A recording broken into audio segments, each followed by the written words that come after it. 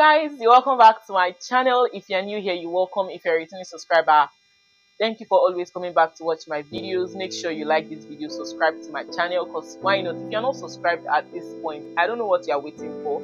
Make sure you subscribe for premium content, maximum enjoyment, and turn on your post notifications so whenever I post a new video, you'll be the first to know. Stick around to the end of this video because we're about to have a heartfelt conversation one on one, just like we always do on this channel. And today I was talking about something that has been on my mind for a while now, and I decided to bring it up, you know, um, to this channel to talk about it. And I'm not a pastor, disclaimer, I'm not a pastor, I'm not an evangelist, I'm not, you know, whatever it is, a bishop or or anything. I'm just a girl, a believer, you know, who loves God and basically wants to share our own opinion and wants to help other people. I don't know how many people would see this video, but I trust that this video meets you well and you're able to learn one or two things from it. So stick around to the end of this video. So basically, I'll be sharing five tips on how you can build your or strengthen your intimacy with the Holy Spirit. And this is more like a Gen Z edition because, like I said, I'm not a pastor and there are just things that have basically worked for me. The first thing I wrote here is build a desire. And guys, you know when they say you, you must first have, even the Bible says you must first have a willing mm. mind, a willing heart. So if you genuinely desire the Holy Spirit, you will, you know, have the Holy Spirit. You must first desire the Holy Spirit in your life. If the Holy Spirit is not an intruder, he only comes into the lives of those that desire him. So if you really want the Holy Spirit, you must first, even though if you don't, it's fine if you don't have a desire, create one, find one, you know, dig it out. If you have to, you know, starve or deprive yourself of certain things, just make sure you have a desire of the Holy Spirit and if it is in your heart, then God will definitely give you the Holy Spirit. The Holy Spirit has been assigned to every believer, but you need to activate the Holy Spirit before the Holy Spirit begins to manifest in your life, before the Holy Spirit becomes active for you. Because the Holy Spirit is for you and not for Jesus. The Holy Spirit is not for God.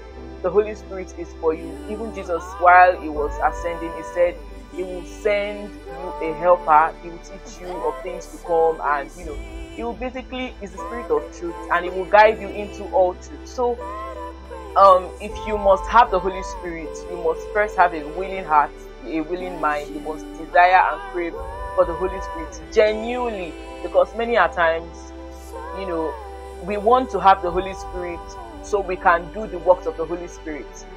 I don't know if you get what I'm saying. If you understand what I'm saying, please say I understand in the comment section. I'm not a teacher, but like many a times we want to have the Holy Spirit because of the works of the Holy Spirit, the manifestations of the Holy Spirit, because of what we can get from the Holy Spirit. We must build intimacy to a level of I want to know the Holy Spirit as a person.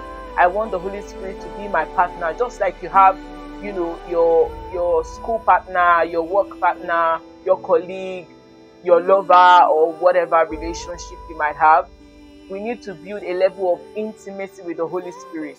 So when we first have a desire, desire is like the starting point. You must first have a desire before you know you can graduate, before you can build a level of intimacy with the Holy Spirit. I think that's like the basis.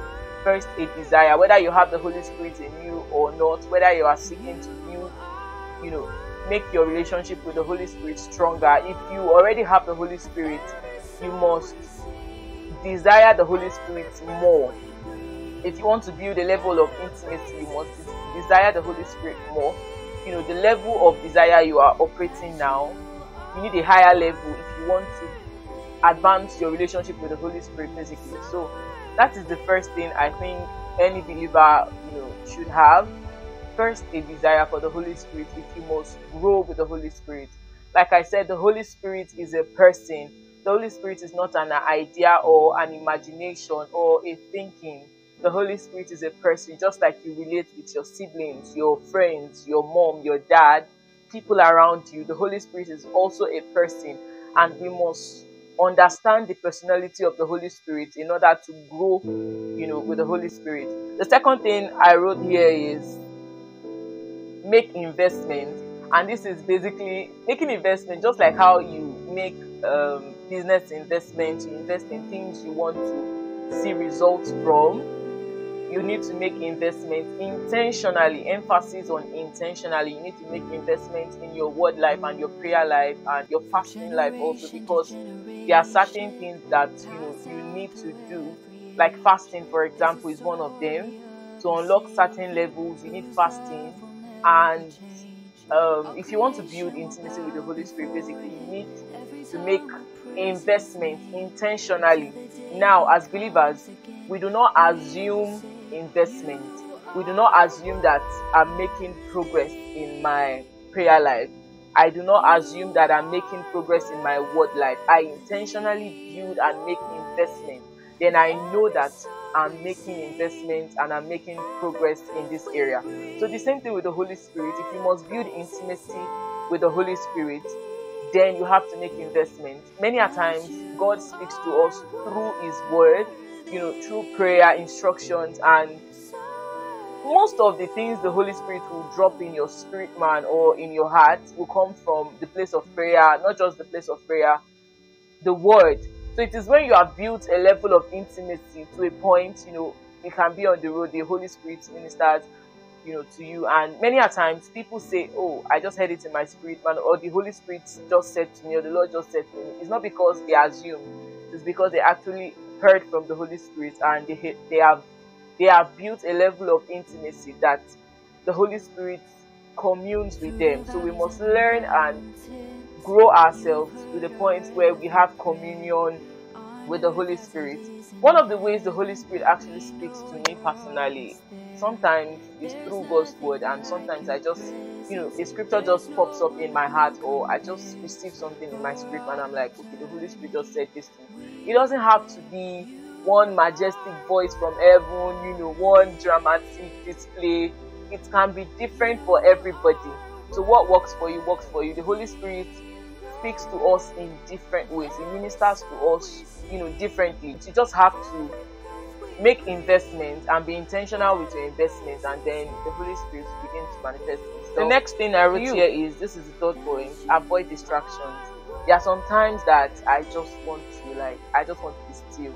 And distractions now, in this sense, especially in this generation, a form of it can be social media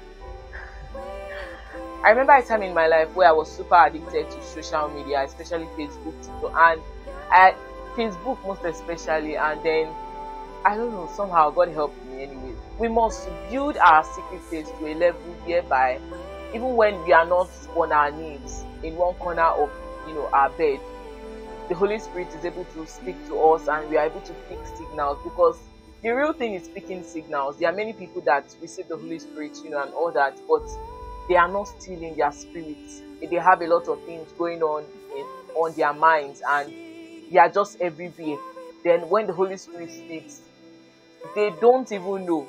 They cannot say that this is the Holy Spirit speaking, or the Holy Spirit just said something, or the Holy Spirit just told me, you know, or just gave me an instruction basically. The next thing here is practice, guys. I can't count how many times the Holy Spirit has given me instructions and then I, I just decide to wave it off. I'm like, I didn't hear that. I pretend like it's not me that they are talking to, especially instructions that don't, especially instructions that seem unassuming. You know, there are some instructions that the Holy Spirit will give you. They sound, they, they seem foolish. They don't look like it. It looks like the abnormal. But the, the, the twist to it is that every time, for every time the Holy Spirit gives you instruction, you carry them out the Holy Spirit, like I said, is not an intruding spirit. If the Holy Spirit gives you an instruction and you do not follow it, or if you do not carry out that assignment or whatever He has given to you, then the Holy Spirit might not reveal Himself unto you anymore. Just like any other relationship, if you are trying to advise somebody and the person is not taking your piece of advice, it will definitely come to a point whereby you're like, I'm just gonna leave this person alone. I'm not gonna bother you anymore do what works for you and you know so we have to constantly practice what the holy spirit tells us to do part time it might seem unassuming like i said it might sound foolish it might look weird like holy spirit if i do this i'm going to be the weird one among my friends but practice you know, when we continue to practice, then we begin to grow in intimacy with the Holy Spirit. The last thing I wrote here is get addicted. Just like how you you might be addicted to your phone or any other thing or a person self because you know some people might be really addicted addicted persons like i said get addicted you know to the holy spirit. Don't let a day pass by without you hearing from the holy spirit. I have someone that will always ask me what is god telling you? What did god say today and hmm, those things just you know they make me conscious. Sometimes i ask myself joy what has the holy spirit you know told you today what has god said to you today? Because god speaks to us every day but are our ears open to signals? Is our heart open to receive?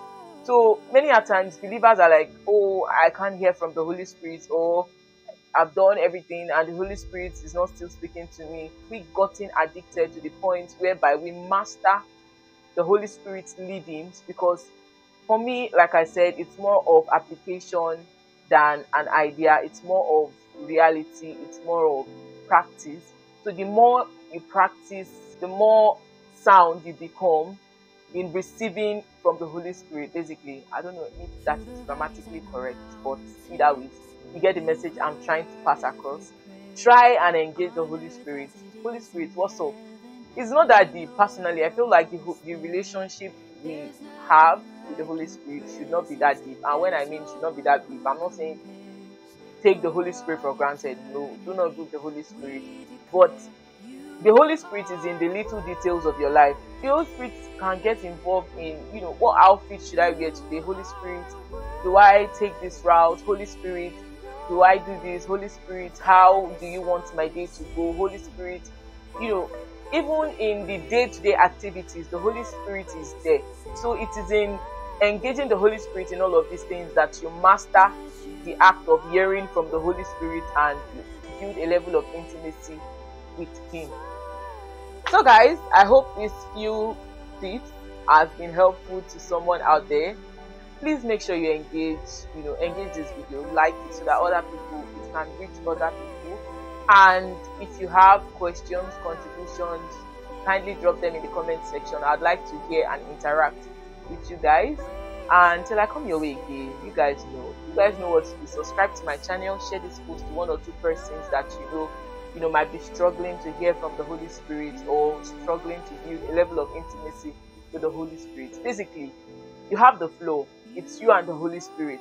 Don't ever try to pretend with the Holy Spirit. If you are not fine, talk to the Holy Spirit. Holy Spirit, you know what happened today? I know, yes, He followed you. He was with you everywhere you went, but commune with the Holy Spirit, engage the Holy Spirit, and you'll see how your life just turn. But anywho, anyhow, anyways, I'll see you guys on my next video. Make sure you engage, like I said, and share this video to one or two persons that you love till I come your way again. I love you, but God loves you absolutely more. I'll see you guys on my next one. Bye.